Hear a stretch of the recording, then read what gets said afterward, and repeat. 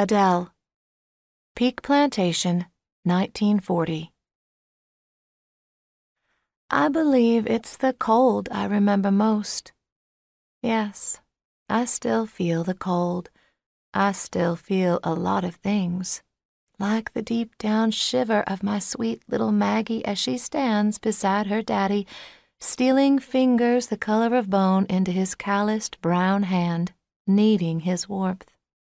But there is no warmth in him, my poor dear Henry, and it grinds my heart to see it. Yes, I still have a heart, too, or an ache, at least, where it used to be. Maggie clutches at the buttoned up collar of her black wool coat, hunching her shoulders as if to hoard her heat.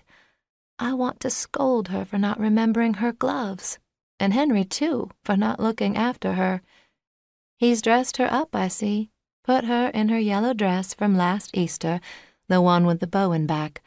Already her knees are blue with cold. But it's not in me to be angry.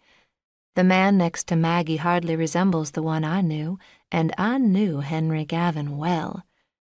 He's hollowed out now, hardly there at all, though his boots still leave prints in the earth, and he never leaves off staring at that stone. I knew right off where he was going when he cranked up that old truck, and I knew right off why. He means to tell her. She's a beautiful child, her face is so still and pale, like a doll's, the fine blue white of china, and her gray eyes are wide and shimmery from the chill. My arms long to go around her, to hold her close, to keep her warm and guard her against all that may come. For a moment, the pain is so raw it nearly bends me in two. You forget sometimes to steel yourself against those moments you think it all stops, but it doesn't. You can still hurt long after you're dead and gone. Well, if the child must know, and it seems she must, I wish it were me doing the telling. Men don't do these things well. She's already confused. I could see it in her face when he got out of the truck and started walking, and I see it again now as she follows her daddy's eyes to the pale slab of soapstone.